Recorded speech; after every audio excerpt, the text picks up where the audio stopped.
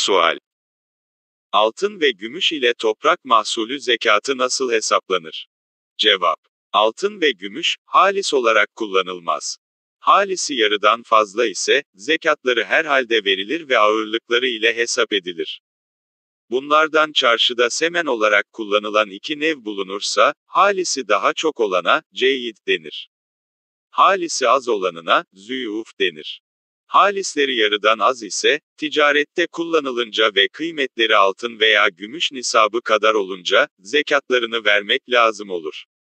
Yağmur veya nehir suyu ile sulanan uşurlu toprak mahsulü, miktarı az olsa da ve çabuk çürüyen, bozulan sebze, meyve olsa da, onda biri uşur olarak uşur memuruna verilir.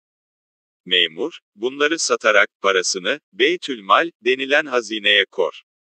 Meyve görününce veya olunca, yahut toplandığı zaman vermek farz olur denildi. Hayvan ile veya dolap ile, makina, motor ile sulananın 20'de biri verilir. Hiçbir masraf çıkmadan önce vermek lazımdır. Hükümetin uşru, mal sahibine bağışlaması, af, lave etmesi caiz değildir. Dağdan ve uşurlu topraktan elde edilen balın da uşru verilir.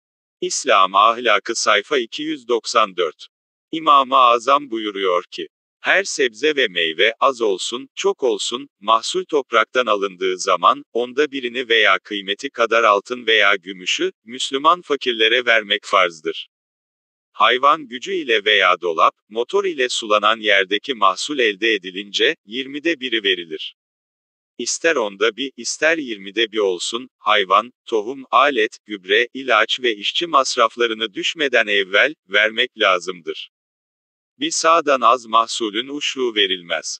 Toprağın sahibi çocuk, deli, köle olsa da uşru verilir.